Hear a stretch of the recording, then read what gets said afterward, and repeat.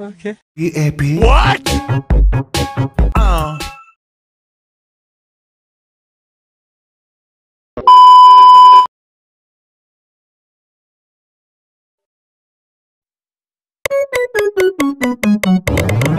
PPAP. I have a pen. I have an apple. Uh, apple